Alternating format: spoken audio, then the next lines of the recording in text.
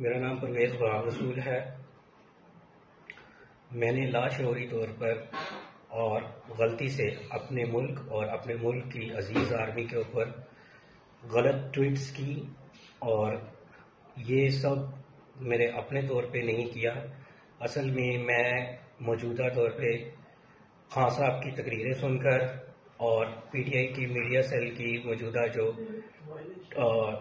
Tweets पर trends चल रहे हैं उन ट्रेंड्स को पढ़कर उनसे, यानी उनके उनके इन्फ्लुएंस में आकर मैंने इस तरह की ट्वीट कर दी, जो कि हमारी आर्मी और ख़ासकर हमारे chief of army staff Bajwa साहब के ख़िलाफ़ चली गई।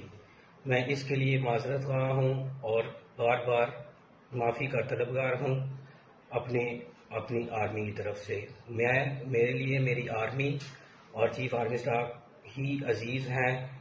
मैं वो हमारे लिए रोज़ाना कुर्बानियाँ दे रहे हैं और उन्हीं की वजह से हमारा मुल्क अभी तक बचा हुआ